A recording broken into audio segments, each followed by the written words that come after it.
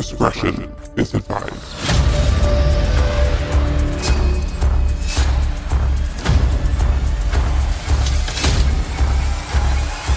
This is 10 Minute Murder.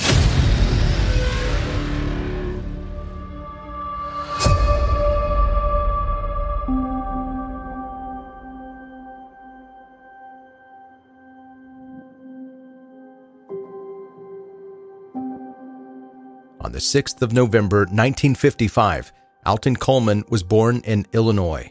Because his mother was working three different jobs to support herself, Alton grew up in the care of his grandmother. From an early age, he was antisocial and he did not get along with others, and those traits only got worse as he grew older. When Alton was 18 years old, he was charged with his first sex crime. Over the next decade, he was charged with a total of five more similar crimes. He pled guilty to two of them, was acquitted of two more, and the final two were dismissed. One of the two cases that was scheduled to go to court was the sexual assault of a 14 year old girl. But before the 1984 trial began, Alton decided to go on the run. But Alton did not flee from the law all by himself. Deborah Brown, a woman with an intellectual disability, came with him. Deborah and Alton had met the previous year when she was engaged to a different man, but she quickly decided to leave her fiance and move in with Alton. As well as her intellectual disability, Deborah suffered from dependent personality disorder, giving her an irresistible urge to be looked after by other people. She relied on Alton and was willing to do anything he asked, no matter the consequences. So when Alton told Deborah that he was going on the run, she did not hesitate to come with him. Unlike Alton, Deborah didn't have any criminal charges. In fact, she had never been in trouble with the law ever.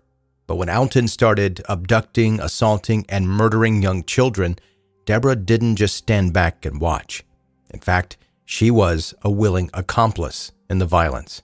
The couple's first victim was a nine year old girl named Vernita Wheat, whose mother Alton had become friends with before. They kidnapped her from Wisconsin on the 29th of May, 1984, and her decomposed remains were found in an abandoned building almost a month later. She had been sexually assaulted before she was strangled to death. Shortly before Vernita's body was found, Alton and Deborah abducted two more children in Indiana Annie Turks, who was nine, and Tamika Turks, who was seven. Both girls were sexually assaulted. Tamika died during the attack, but Annie managed to survive. That same day, Alton and Deborah kidnapped 25 year old Donna Williams. Just like Vernita Wheat, Donna was assaulted and strangled to death, and then her body was dumped. After attacking Annie and Tamika and murdering Donna, Alton decided that he needed a different vehicle to avoid being recognized. In Michigan, he and Deborah broke into a house and attacked the owners, Mr. and Mrs. Palmer Jones. After beating the couple and then destroying their phone to delay them and calling for help, Alton and Deborah stole the car and drove off to Ohio. During their short time staying in Toledo, Ohio, Alton made friends with a single mother, Virginia Temple. After a few days, Virginia's loved ones became concerned when she ceased all communication and arranged for a welfare check. When authorities arrived at Virginia's house, they initially saw no signs of her or her oldest daughter, nine year old Rochelle. But all of the younger children were still in the house, uncared for and appearing traumatized. A search of the home revealed that both Virginia and Rochelle had been strangled and their bodies hidden inside a small crawl space under the house. Straight after killing Virginia and Rochelle, Alton and Deborah changed their car again. Once again, they broke into a random house and robbed the owners, taking cash and their car before eventually making their way to Cincinnati. Three days after their arrival in Cincinnati, 15 year old Tony Storey vanished. The following week, her body was found, and it was lying on top of a bracelet that belonged to Virginia Temple. Alton and Deborah weren't covering their tracks as well as they believed they were. The string of interstate murders had begun shortly after Alton went on the run, and authorities were able to link several of the crimes together. On the same day that Tony was kidnapped, the FBI made an announcement. they had added an 11th name to their 10 most wanted list, including Alton Coleman as a special edition. On the 13th of July, Alton and Deborah decided to briefly change their mode of transport, using bicycles to travel to Norwood, Ohio. They quickly attacked a couple, Marlene and Harry Walters, sexually assaulting and fatally beating Marlene, beating Harry to the point of unconsciousness, and then stealing the couple's car. Alton's fingerprints had been left at the crime scene on a shattered glass bottle, and both Alton and Deborah had left their footprints behind in blood. Moving through Kentucky, Alton and Deborah kidnapped a college professor, Oline Carmichael Jr. They stole Oline's car, but they kept the professor locked inside the trunk while they did it, keeping him inside throughout their drive back to Ohio. Once they got back, they ditched the car with him still in the trunk. Authorities located the abandoned car and he was rescued and unharmed. Alton and Deborah then stole another car and drove off to Illinois, trading their vehicle on the way after they killed an elderly man and took his car. Three days after this final murder, Alton and Deborah were recognized by a motorist who called the police, and they were arrested. They were carrying an enormous bag full of different shirts and caps, which they had been using to change their appearance several times throughout the day, hoping that it would prevent them from being noticed. When Alton was being strip searched at the police station, officers discovered that he was wearing two thick pairs of socks and had hidden a steak knife in between them. The following week, a group of more than 50 different investigators and law enforcement officers from throughout the United States met up, trying to plan the most successful strategy for prosecuting Alton and Deborah.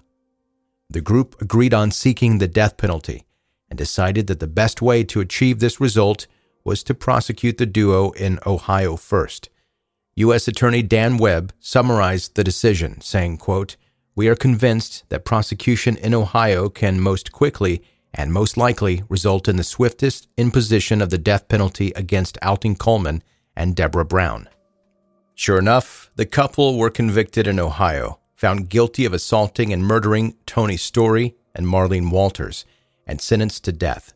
Another 20 year sentence was added on for kidnapping because Alton and Deborah locked Oline Carmichael in the trunk of his own car and then had driven him across state lines. Alton repeatedly claimed that his sentence was unconstitutional, but every time the case was sent before the Supreme Court, the sentence was upheld. When the time for Alton's execution came along, the Ohio Supreme Court was aware that many people who had survived Alton and Deborah's crimes wanted to be there to witness his death. Alton's lawyers claimed that allowing so many people to be present would turn his death sentence into a spectator sport. But instead of reducing the number of witnesses to the execution, the court created a separate viewing venue to accommodate them all. Shortly before his death, Alton wrote a letter in which he apologized for the crimes he committed. He had a lavish last meal, which included filet mignon, fried chicken, french fries, onion rings, salad, and cornbread, and a cherry coke to drink. He was executed via lethal injection on the 26th of April 2002. At the time he died, he was the only person in the U.S. to be sentenced to death in three different states Ohio, Illinois, and Indiana. While Alton's attempts to fight against his death sentence were unsuccessful, Deborah was luckier. Governor Richard Celeste agreed to sentence Deborah to life imprisonment instead, stating that he was doing so because Deborah had been in a master slave relationship where she would do anything that Alton asked, and because she had consistently low IQ scores showing a lack of critical thinking and understanding of the consequences of her actions. Although Deborah had no history of criminal activity before going on the run with Alton, she didn't show any remorse for her crimes during the early days of her imprisonment. In fact, while being sentenced during one of her trials, she wrote a note for the judge, which said, quote, I killed the bee, and I don't give a damn. I had fun out of it.